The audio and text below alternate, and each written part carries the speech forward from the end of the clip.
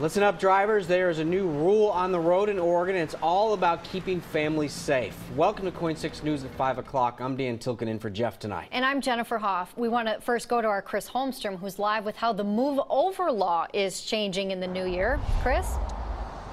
Yeah, the law first went into effect back in 2010, but it only applied to emergency vehicles. And in that time, too many people were injured, some even killed, that now the law is updated.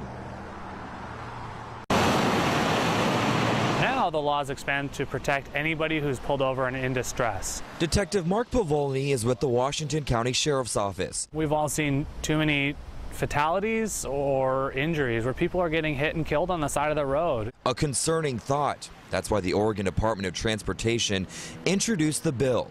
In fact, they say between 2011 and 2015, there were 167 serious crashes on Oregon highways.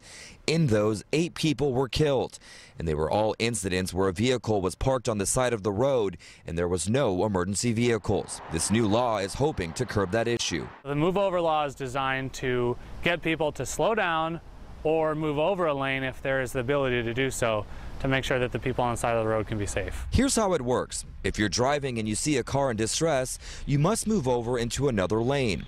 Some signs of distress include seeing flashers, putting on flares, or showing signs there is an emergency. If you can't safely change lanes, slow down at least five miles under the posted speed limit and try to provide as much room as possible between you and the distressed driver. Even though the law gives you the option, I would ask that people move over the lane if they can. That's always going to be safer just to give that extra space because it gives you more time and space to plan for something unexpected. And if you get caught not moving over, a ticket will cost you $260. Reporting live from Southwest Portland, I'm Chris Holmstrom for KOIN 6 News.